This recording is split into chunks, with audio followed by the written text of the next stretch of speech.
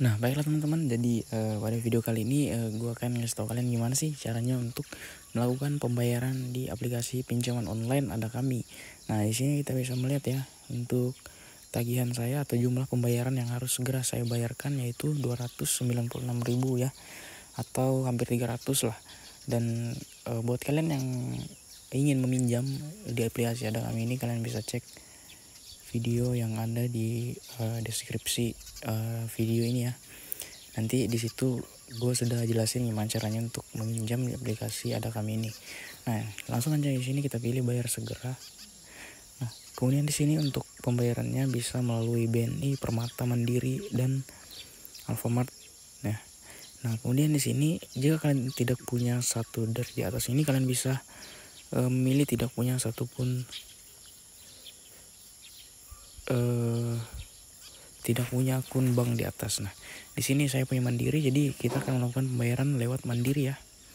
Nah, kemudian di sini kita salin virtual account Mandiri ini.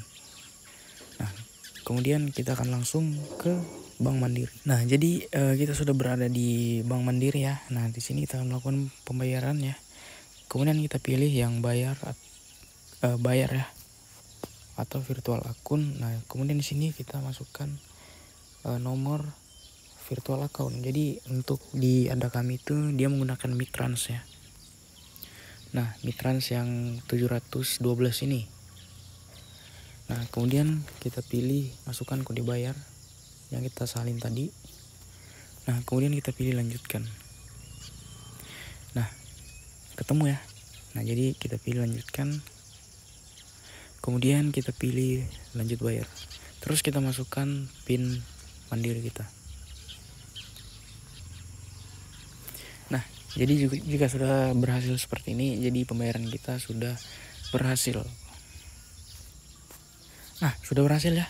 Ini langsung sistemnya bagus di ada kami ini, jadi langsung terbaca ya.